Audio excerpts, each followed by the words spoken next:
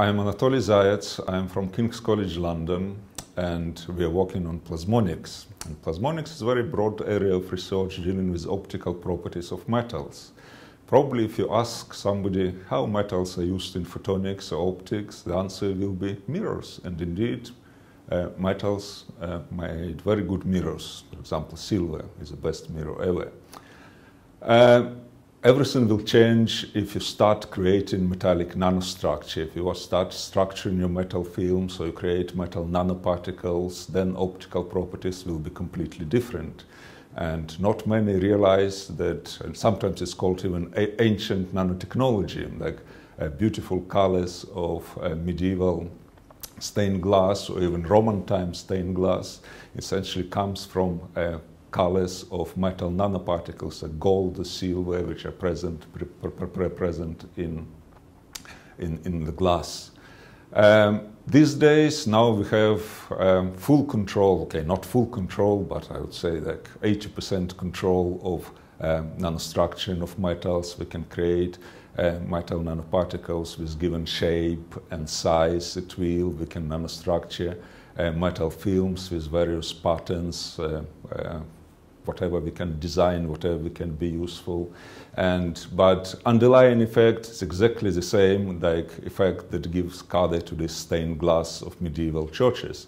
Because when light uh, interacts with a metal nanoparticle, it excites uh, free electron oscillations inside the metal nanoparticle.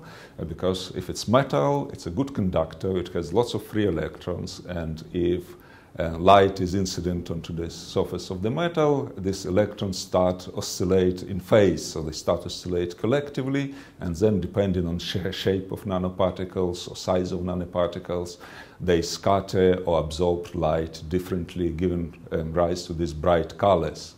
And actually exactly the same effect that gives uh, colors to this um, stained glass uh, nowadays used in biosensors. For example, pregnancy test, you can go to pharmacy, buy it, use it, but not all, everyone knows that actually um, the, the, the, change of the color that you observed is related to metal nanoparticles, to gold nanoparticles, and to excitation of surface plasmons in these nanoparticles.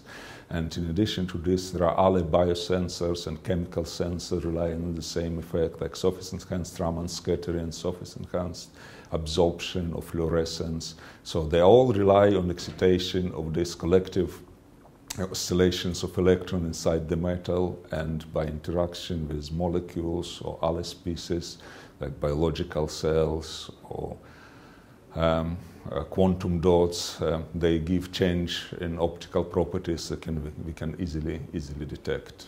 And recently, obviously, there is a big area which is not possible not to mention. It's area of metamaterials. And metamaterials is nanostructured um, nanostructured media, essentially. It can be dielectric, semiconductors, metals, and metamaterials. They work in various spectral ranges from microwaves, terahertz to visible. And if you're talking about metamaterials for visible spectral range, you cannot uh, produce them without um, using plasmonic effects. So all metamaterials that work in visible spectral range in one or the other way, they rely on plasmonic effects, and this is exactly what, what we are studying. So first of all, we design in effects. So the, um, nowadays, um, uh, simulation techniques, electromagnetic simulation techniques are very well developed. So essentially, whatever we can come up with, we simulate first. Then nanofabrication techniques, it's also quite well developed. So, and we're trying to think about nanostructures when we simulate them, nanostructures that we can uh, fabricate as well. So we simulate nanostructures, plasmonic nanostructures, and we fabricate plasmonic nanostructures, and at the end we study their properties, we study all those, those effects. Some example of important effects were plasmonics um, uh, Uh, you, you, cannot do without plasmonics, for example, enhancement of nonlinear optical properties. Because if you have plasmonic nanoparticles or plasmonic metal film and you couple light to this surface plasmon excitation, essentially electromagnetic field is squeezed near the metal surface. So you have localization of the field and at the same time, because you have localization, you have also enhancement, effective enhancement of electric field near the metal surface. So it means that uh, fluorescence of uh, quantum dots or molecules is enhanced because field is higher there. Nonlinear optical effects, which depends on higher power of electric field, is also enhanced, even, stro even stronger than photoluminescence is enhanced because field is enhanced there. And by using, utilizing plasmonic nanostructures, you can um, think and design um, you can call it nonlinear metamaterials, nonlinear plasmonic metamaterials, because they consist of um, plasmonic metamaterials I combine with nonlinear dielectrics where you can achieve nonlinear effect. It's very, very low light intensity. Um, in principle, you can go down to single photon for four photon levels. And then if you have this very strong nonlinearity, then um, you can think about using this nonlinearity for all optical information processing.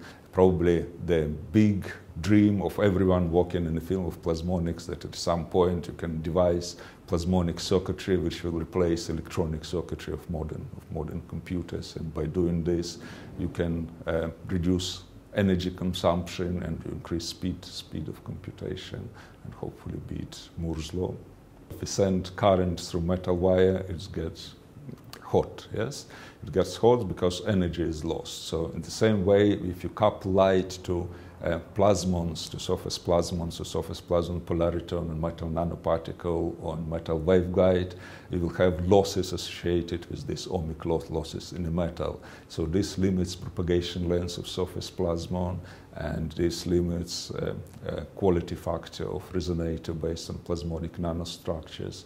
So now there is very significant um, attempts to overcome this, this problem either by using new materials that previously were not used for plasmonics, like uh, various kind of oxides, which may provide lower losses at telecommunication wavelengths, or uh, introduce gain into plasmonic nanostructure in order to compensate for, for, for, for these losses. And both these directions are very active and hopefully, uh, at least I hope, that both of them they produce very nice results and push plasmonics to really practical practical devices.